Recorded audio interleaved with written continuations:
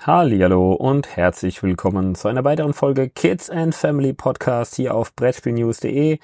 Ich bin der Björn und heute schauen wir mal voraus auf die Spiel 23 und ich werde euch mal fünf Titel nennen, die ich euch persönlich empfehlen möchte. Viel Spaß dabei!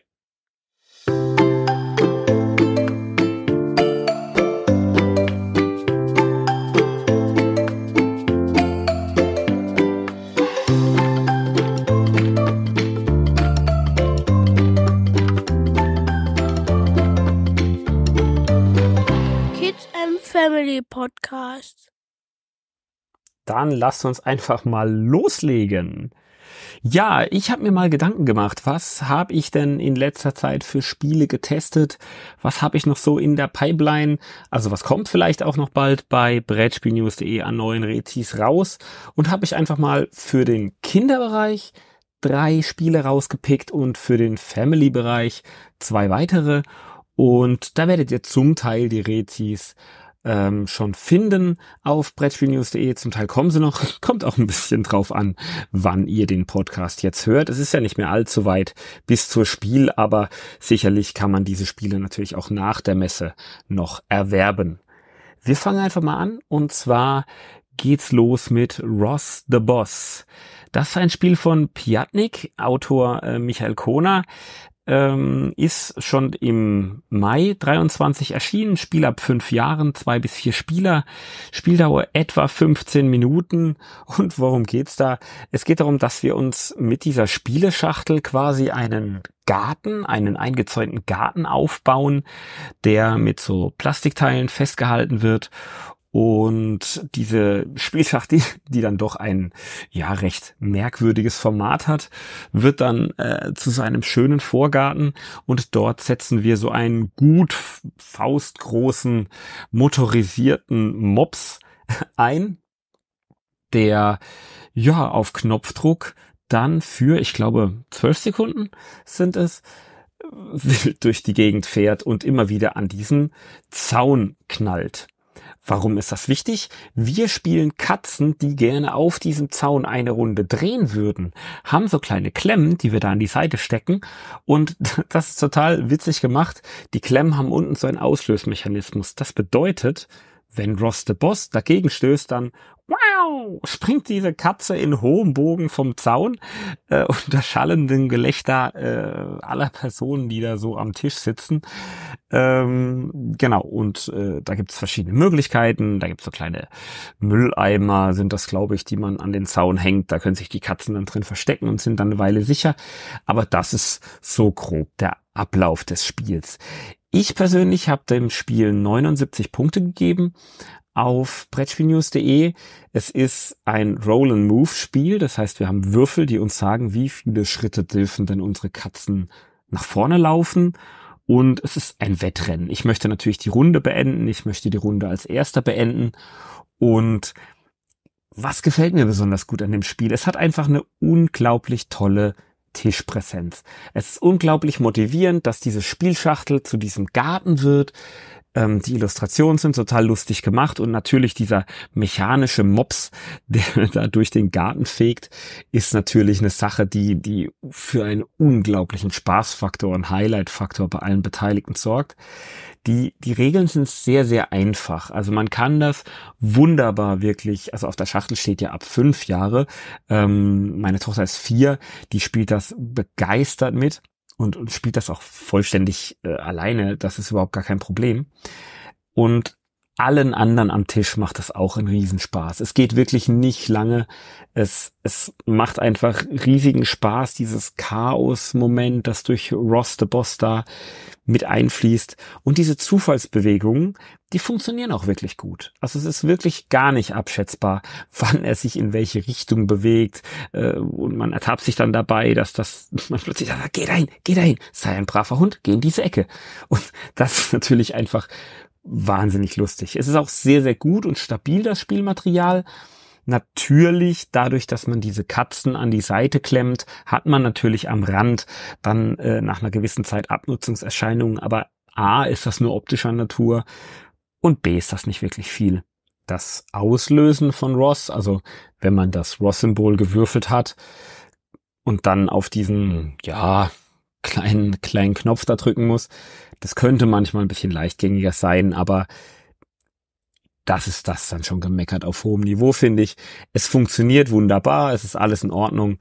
Und was mich persönlich sehr überrascht hat, ist, dass dieser, dieser Fun, diesen Hund da laufen zu lassen, das eigentliche Spiel, also das Wettrennen um die Runde, gar nicht so sehr überlagert, wie ich mir das eigentlich dachte. Ich dachte, okay, jetzt geht's einfach nur darum, jeder will am laufenden Band auf diesen Mops drücken, dass der da durch den Garten fegt.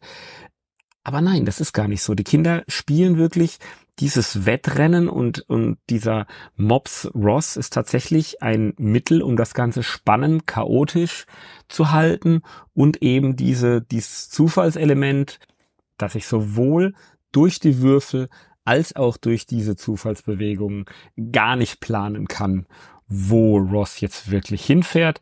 Natürlich, ich habe so eine kleine Ahnung, ne? Also wenn der, weiß ich nicht, links oben in der Ecke steht, dass ich natürlich dann rechts unten da mich gut bewegen kann, aber selbst dann kann ich ja nicht entscheiden, wie viele Schritte ich gehe. Ich würfel ja. Aber alles in allem muss ich wirklich sagen, ein sehr, sehr lustiges, kurzweiliges Spiel, wo wirklich alle Altersklassen mitspielen können und ah als Partyspiel, selbst bei Erwachsenen könnte ich mir das gut vorstellen, aber wirklich für Kinder ein ganz, ganz tolles Spiel. Und um das Ganze mal noch von dieser Spaß und, und totalen Fun Ebene ein bisschen runterzuholen, möchte ich einfach noch betonen, also man hat schon für die Kids einen tollen Lerneffekt dabei. Also ich habe die zwei Würfel, ich habe die Würfel, die ich zusammenzähle, ich habe die Schritte, ich habe die Feinmotorik. Also es ist schon wirklich ein Spiel, das den Kindern auch so ein bisschen was näher bringt. Durch dieses Chaos-Element und die fliegenden Katzen wird auch, weil es einfach so lustig aussieht, diese Frustration gemildert. Ne? Die Kinder erlernen das auch, zu sagen, oh, jetzt hat's mich schon wieder erwischt. Wenn man erwischt wird, muss man auf dieser Runde nach hinten bis zum nächsten Mülleimer ist der besetzt, muss ich noch weiter zurück. Also kann natürlich auch mal passieren, dass man wieder an den Start zurück muss. Aber das ist so urkomisch, dass diese Frustration äh, da gar nicht richtig rauskommt. Und trotzdem müssen es die Kinder aushalten. Also es ist nicht nur ein reines Quatschspiel und Highlightspiel, da, dass man fünfmal auf Ross drauf drückt und dann wird das Spiel uninteressant, sonst A, hätte ich das nicht so hoch bewertet aus meiner Sicht und hätte auch gar nicht das hier in die Liste aufgenommen. Wenn ihr also ein wirklich witziges Kinderspiel sucht, das aber wirklich nicht nur durch irgendein mechanisches Highlight punktet, sondern weil es einfach insgesamt ein tolles Spiel ist, dann schaut euch Ross the Boss bei Piatnik einfach mal an auf der Messe und ja, macht euch ein eigenes Bild, ob das vielleicht was für euch ist.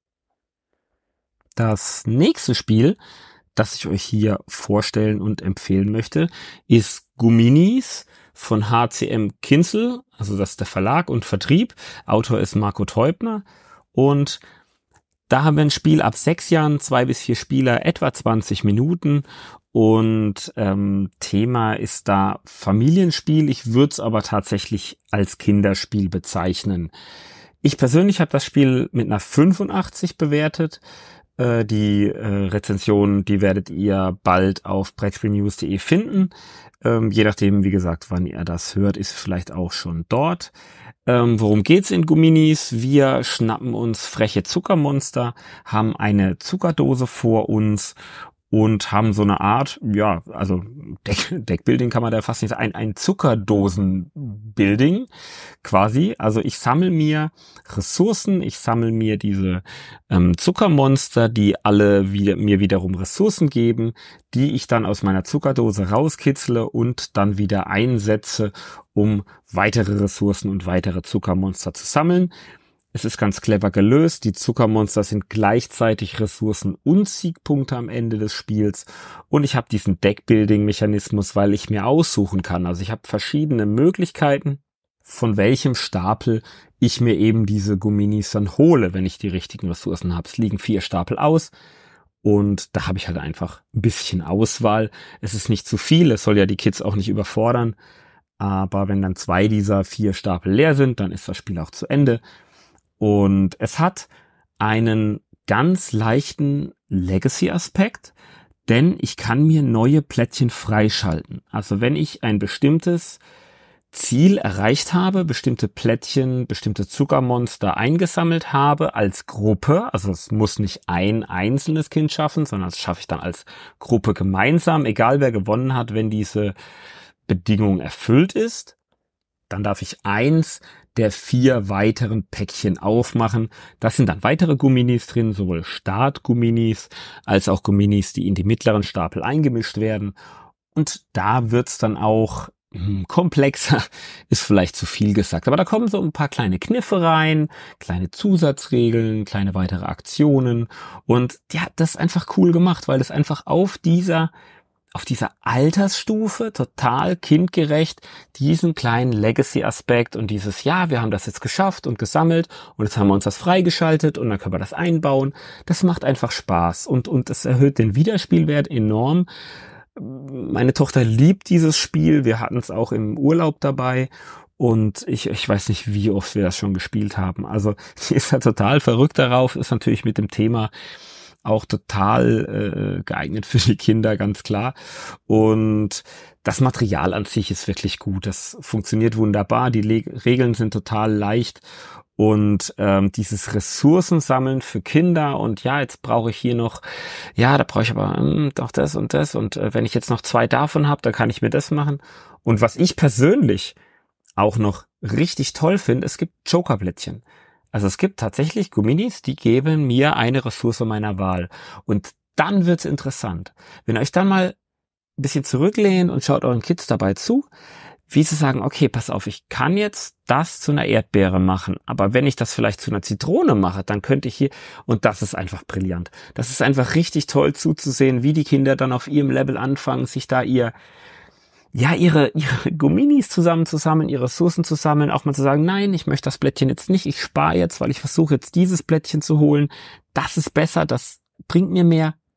Ja, das ist toll. Also es ist wirklich toll. Wenn ich ähm, noch was sagen soll an diesem Spiel, was ja, was vielleicht nicht ganz so optimal gelöst ist, das sind diese Zuckerdosen Dosen an sich die verrutschen ziemlich leicht, wenn man es auf einer glatten Oberfläche spielt. Also wenn man es jetzt auf einer, auf einer Playmat spielt und hat wirklich so eine Unterlage, dann funktioniert das sehr, sehr gut. Auf dem reinen Holztisch ist uns das manchmal ein bisschen weggerutscht. Dann rutschen dann ein paar Gumminis oder, oder so leicht gucken die dann vor. Ist jetzt auch nicht mega wild, aber es kann man ab und zu mal ein bisschen nerven. Aber es ist nichts, was, was wirklich spielmechanisch irgendwie Einfluss hat. Insgesamt ist es einfach ein richtig, richtig tolles Spiel mit einer tollen Mechanik, mit einer tollen Thematik, ähm, mit diesem Freischaltmechanismus. Und ja, macht einfach richtig Spaß. Schaut's euch mal an, ähm, geht mal vorbei bei HCM Kinzel auf der Messe und äh, guckt euch das mal an. Wenn ihr ein schönes Kinderspiel sucht, kann ich nur empfehlen. Gumminis. Das dritte Kinderspiel, das ich euch wirklich ans Herz legen möchte, ist Rutsch und Flutsch von Joel und Raphael Escalante, 2021 bei Gigamix schon erschienen, 2023 jetzt bei Game Factory auf Deutsch, ist von mir mit einer 90 bewertet worden. Das ist wirklich sehr, sehr selten. Ähm, ich glaube, das ist auch mein erstes und glaube auch bisher einziges Spiel, dem ich diese Wertung habe zuteil werden lassen. Die Rezension findet ihr auch schon auf brettspielnews.de. Worum geht's in Rutsch und Flutsch? Rutsch und Flutsch ist ein Spiel, in dem wir eine Schildkröte einen Wasserfall runterschnipsen und je nachdem, wo diese Schildkröte landet, dürfen wir in einem 3x4 Raster an Memory-Plättchen eine bestimmte Anzahl Plättchen aufdecken. Diese Plättchen, die ich dort aufdecke, zeigen alle lustige Tiere und diese Tiere muss, muss ich in einer bestimmten Reihenfolge, abhängig von meinem Spielertableau, eben aufdecken und finden. Schaffe ich das, komme ich in eine meiner drei Reihen immer einen Schritt weiter und wenn ich alle drei Zeilen auf meinem Spielertableau die alle Tiere einfach in der richtigen Reihenfolge gefunden habe, dann habe ich das Spiel gewonnen. Es verbindet eben diesen Memory-Aspekt mit einem Geschicklichkeitsaspekt und es macht einfach so unfassbar viel richtig. Das beginnt wirklich schon mit der Anleitung und mit dem Material. Ähm, in der Anleitung haben wir auf der allerletzten Seite, das ist fast meine Lieblingsseite in der Anleitung, haben wir für jedes Tier, das hier vorkommt, wir haben die Schildkröte, Schneeleopard, Gleithörnchen, Elefant, Komodowaran und so weiter, haben wir irgendeinen lustigen Fakt, bei dem die Kinder einfach noch was lernen über dieses Tier. Also da hat sich jemand wirklich so viele Gedanken gemacht, nicht nur beim Erstellen des Spiels, beim, beim spielmechanischen Teil, beim Anpassen an die Zielgruppe und so weiter, sondern auch die Anleitung ist wirklich unfassbar gut geschrieben. Und wie gesagt, diese letzte Seite mit diesen Infos über die Tiere, die äh, ja in, im echten Leben halt dann einfach existieren und da äh, was ganz Besonderes können oder eine bestimmte Eigenschaft haben oder in einem bestimmten Lebensraum leben, das ist einfach super, das den Kindern da noch mitzugeben. Es hat einen total schnellen und einfachen Einstieg. Die Illustration, ja, habe ich ja schon gesagt, das ganze Spielmaterial ist einfach so super knuffig. Also man will jedes dieser Tiere irgendwie sofort knuddeln, wenn man das sieht. Und die Mechaniken sind so, dass sie wirklich ein, ein unfassbar belohnendes Spielgefühl für die Kinder bereitstellen, ohne dass jetzt wirklich irgendwie alles geschenkt wird. Also es ist jetzt nicht so, dass jeder Zug für jedes Kind immer mega erfolgreich ist. Aber man hat immer das Gefühl, okay, das hat sich jetzt gelohnt. Denn selbst wenn ich nichts bekomme, also wenn ich zum Beispiel nicht das richtige Tier aufdecke, bekomme ich einen Rettungsreifen, was thematisch mit diesem in den See rutschen dann auch wirklich gelungen ist aus meiner Sicht, ähm, der mich dazu berechtigt, in meinem nächsten Zug einfach, völlig egal, wo diese Schildkröte landet, einmal mehr umdrehen lässt. Und das erhöht natürlich meine Chancen enorm, denn dieses 3x4-Raster wird niemals durchgemischt in einem Spiel. Nach und nach werden also alle Tiere offengelegt, werden dann zwar wieder auf die verdeckte Seite gedreht, ändern aber ihre Position nicht.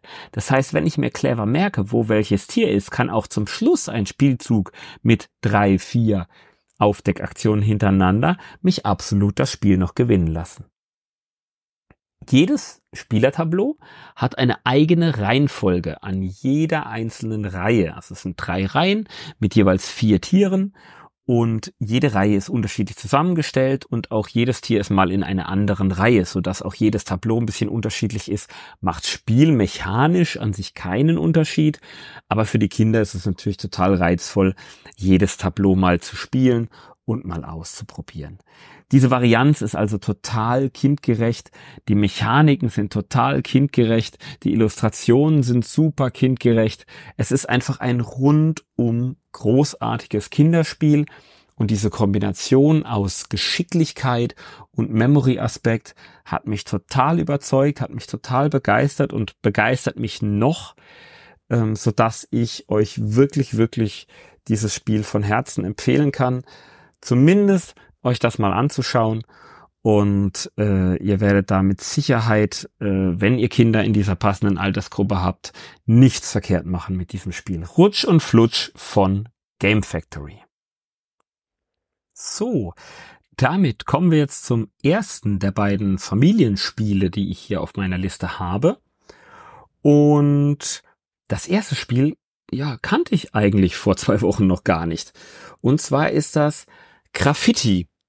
Dieses Spiel Graffiti habe ich auf den Queen Games Pressetagen zum ersten Mal gespielt. Das ist ein Spiel von Marco Ruskowski und Marcel Süßelbeck. Marcel Süßelbeck war auch vor Ort. Äh, viele Grüße an der Stelle. Wir haben äh, zwei Partien gespielt. Ähm, es erscheint laut Verlag im November, soll aber auf der Messe auch schon in einer gewissen Stückzahl erhältlich sein. Auf der Spielschachtel steht ab 14 Jahren, da komme ich aber gleich noch dazu. Ist für zwei bis vier Spieler, dauert etwa 45 Minuten. Worum geht's in dem Spiel? In dem Spiel befinden wir uns im League Street Tunnel in London. Wer unseren Podcast zu den Green Games Tagen gehört hat oder auch den Ersteindruck schon gelesen hat, der auf der Homepage schon ist, der weiß jetzt schon, wovon ich rede. Deswegen mache ich das jetzt äh, relativ kurz. Und wir sind eben in diesem Tunnel unterwegs. In diesem Tunnel darf gesprayt werden. In diesem Tunnel ist es erwünscht, dass Graffitis nach entsprechender Genehmigung angebracht werden. Und das Ganze ist so ein Künstlerprojekt. Und wir beteiligen uns eben daran. Versuchen im Laufe des Spiels immer mehr dieser Graffitis fertigzustellen und am Ende des Spiels möchten wir natürlich der Künstler sein, der die meisten Graffitis mitgestaltet hat in diesem Tunnel. Ähm, ihr werdet eine ausführliche Rezension dazu in den nächsten äh, Tagen und äh, oder Wochen da noch finden.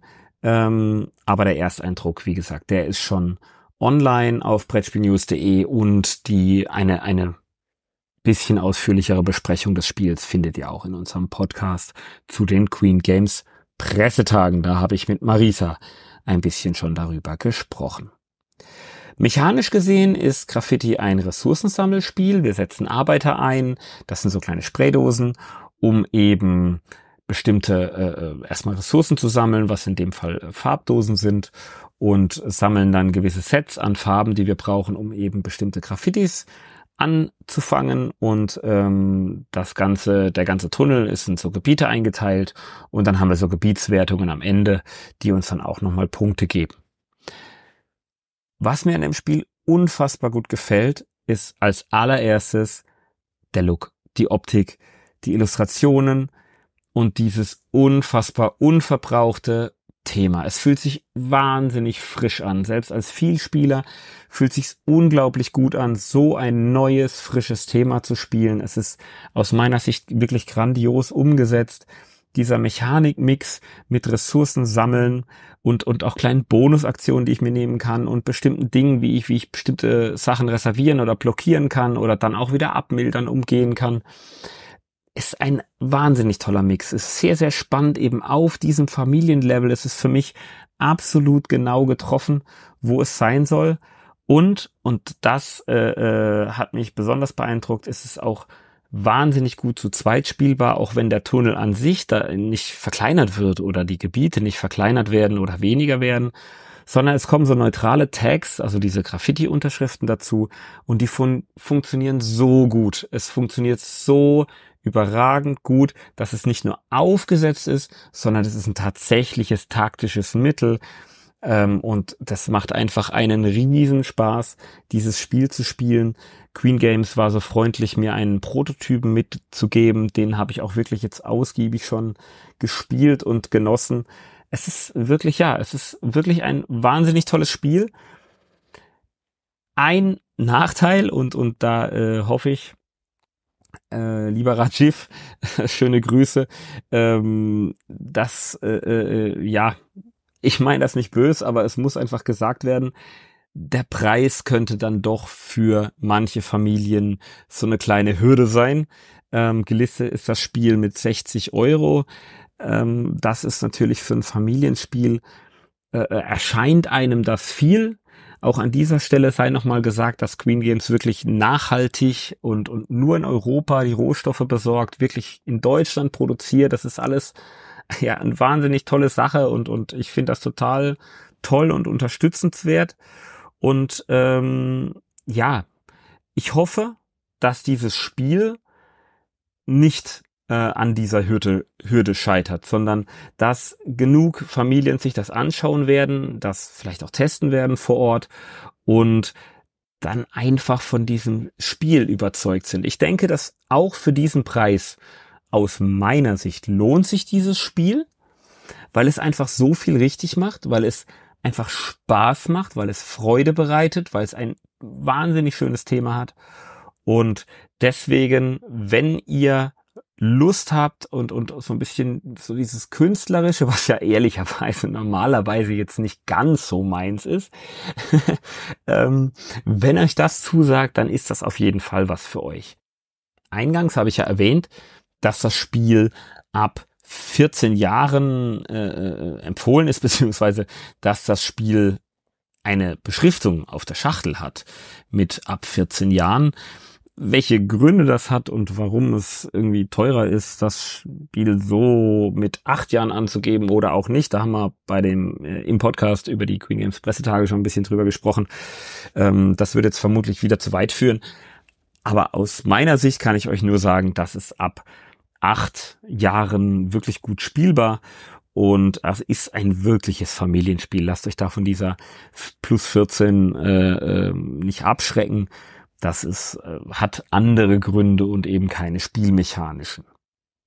Das zweite Familienspiel, das ich euch hier empfehlen möchte, ist ein Spiel, das ich letztes Jahr auf der Messe als völligen Überraschungspick gekauft habe. Jetzt sagt ihr, hä, Moment, letztes Jahr auf der Messe? Ich dachte, du erzählst über dieses Jahr. Ja, denn letztes Jahr habe ich mir direkt am Stand von Bruay Game, Games Keep the Heroes Out geholt und dieses Spiel von Louis Bruyet, ich hoffe, ich spreche das richtig aus, von Miraculous jetzt neu aufgelegt über die Spieleschmiede. Ist ein Spiel ab zwölf Jahren, ein bis sechs Spieler, 40 Minuten Spieldauer. Gelistet ist es hier in der Spiel-App mit 55 Euro. Ist ein sehr, sehr cooler Dungeon Crawler, Anti-Dungeon Crawler. Also auf jeden Fall ist es ein Deckbilder, der in einem Dungeon spielt. Wir spielen asymmetrische Fraktionen und zwar die Monster. Genau. Wir müssen diese sogenannten Helden, die hier ständig in unseren schönen Dungeon einfallen, äh, daran hindern, unser wohl äh, verdientes Geld äh, oder unsere Goldmünzen hier irgendwie uns zu entwenden. Und das machen wir, wie gesagt, kooperativ. Wir haben einen modularen Spielplan, der immer anders aufgebaut wird. Da gibt es verschiedene Szenarien. Man kann das auch mal zufällig äh, machen, aber diese Szenarien machen da schon Sinn. Und dann haben wir eben eine Fraktion. Da gibt's Skelette, da gibt's Ratten, da gibt's äh, so, so wie so eine Art Vampirmäuse, weiß ich nicht. Da gibt's einen Drachen. Und es ist einfach, wir haben auch Schleimtropfen, die, die, die Schleimis, die sind eine meiner Lieblingsfraktionen tatsächlich. Äh, und äh, ja, wir spielen da zusammen und versuchen unseren, unsere Schatzkammer zu verteidigen gegen diese komischen Helden, die meinen, sie müssen da uns besiegen. Es ist, funktioniert äh, über einen Deckbuilding-Mechanismus, der sehr, sehr simpel gehalten ist. Ähm, und es hat eine unglaublich schöne Illustration. Es ist wahnsinnig witzig gemacht. Jede einzelne Karte ist wahnsinnig witzig gestaltet. Die äh, Dungeon ähm, Boards, diese modularen äh, selbst auch. Und es gibt unglaublich viel Abwechslung, weil wir eben dieses modulare Board äh, anhand dieser, ich glaube, 25 Szenarien äh, immer neu zusammenstellen. Es kommen so kleinere Sonderregeln immer noch dazu. Es gibt wirklich ganz, ganz viele unterschiedliche Ereignisse auch oder eben auch Dinge, die die Helden mitbringen. Es gibt äh, äh, Dungeon-Inspektoren, die uns das Leben noch schwer machen können. Es gibt noch äh, verschiedene Erweiterungen. Die waren jetzt in meiner Kickstarter-Version, die ich mir letztes Jahr dann geholt habe, dabei.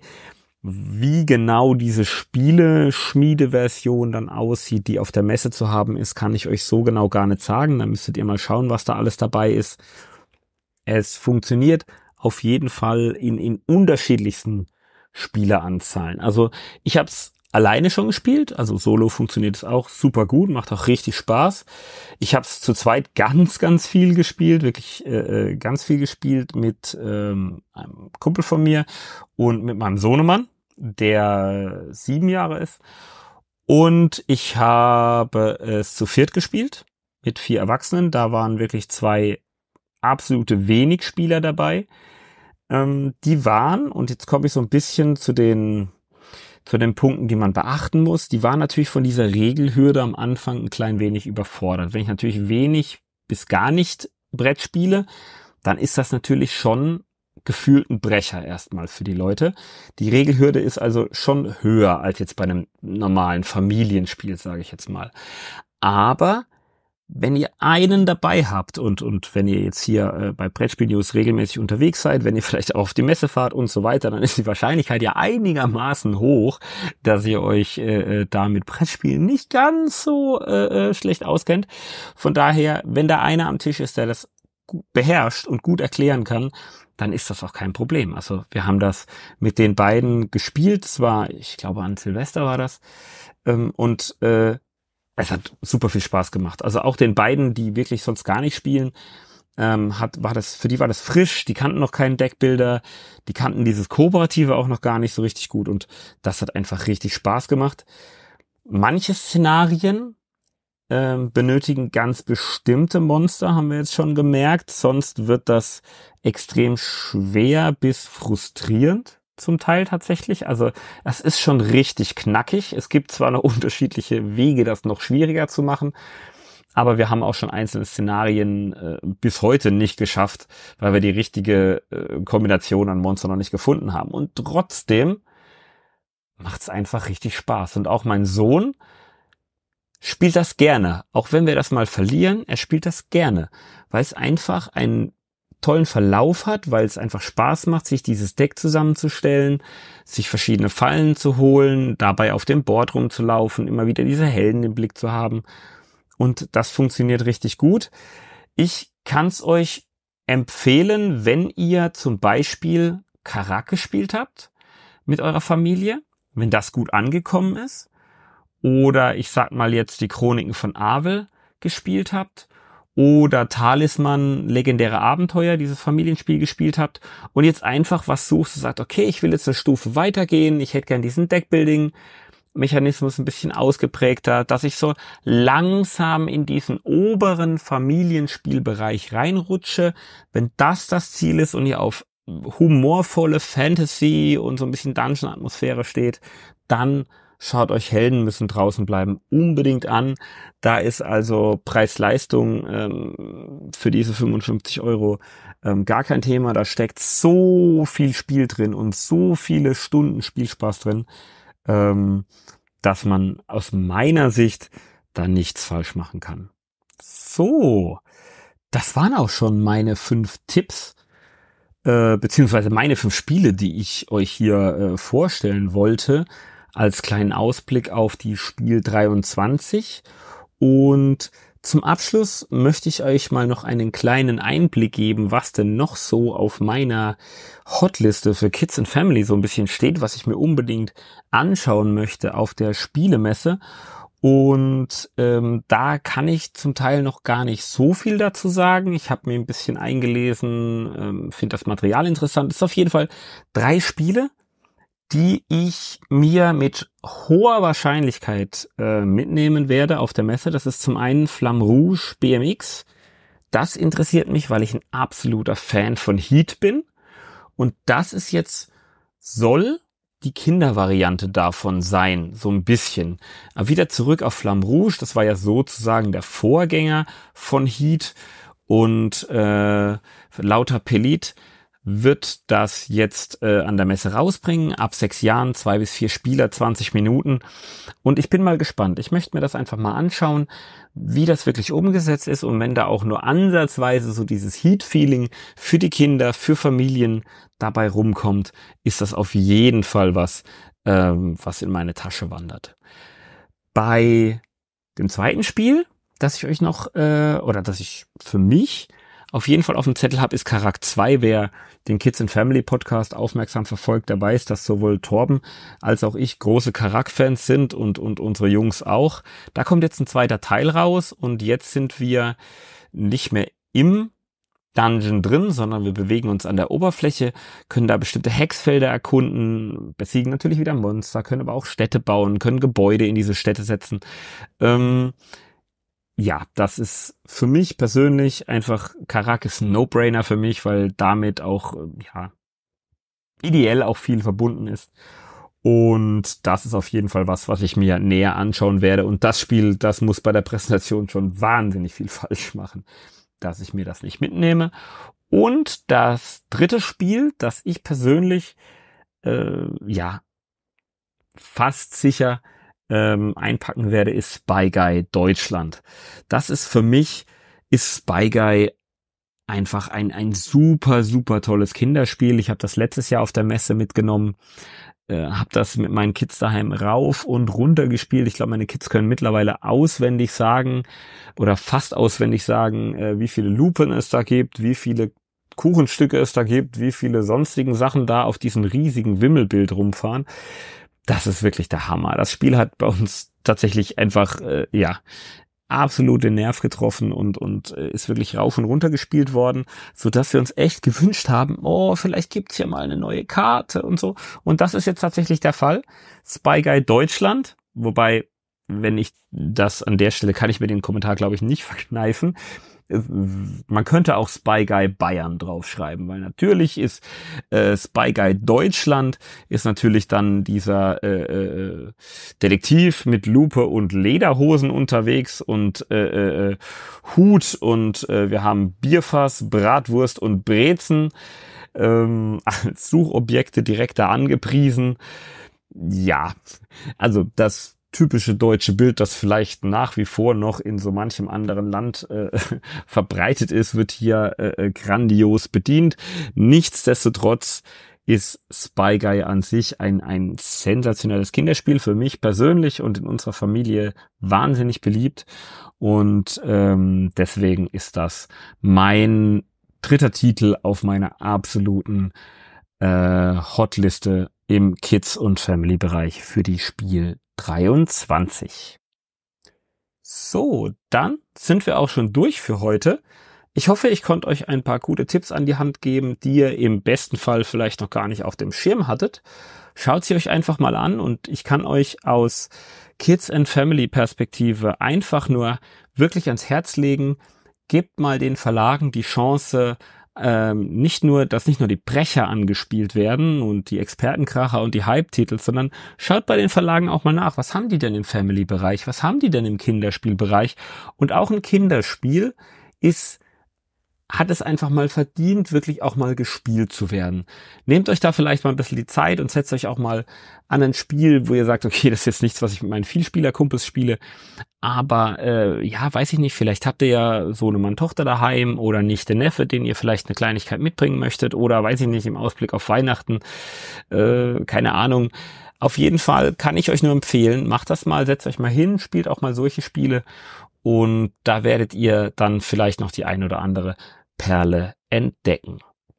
Ich wünsche euch, falls ihr die Möglichkeit habt, auf die Spiel zu fahren, natürlich wunderschöne Tage, tolles Spielen, viele tolle Eindrücke, einen guten Loot. Falls ihr euch schon eure Liste gemacht habt, dann äh, drücke ich euch die Daumen, dass ihr eure Titel auch bekommt. Vielleicht laufen wir uns ja mal über den Weg. Brettspiel News hat ja auch einen Stand auf der Messe in diesem Jahr und ja, dann vielen, vielen Dank fürs Zuhören. Euch allen eine gute Zeit. Spielt weiterhin viel und wir hören uns beim nächsten Mal. Ciao, ciao.